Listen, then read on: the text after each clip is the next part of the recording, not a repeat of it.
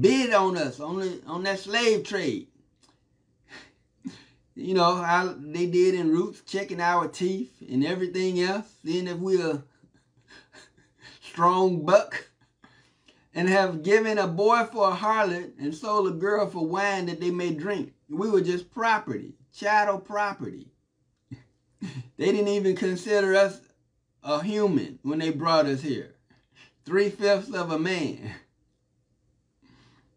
Just to be traded like cattle. That's how they treated us. But payback is coming. And this is what this is. Payback. Verse 4. Yea, and what have ye to do with me, O Tyre, and Zidon, and all the coasts of Palestine? Will you render me a recompense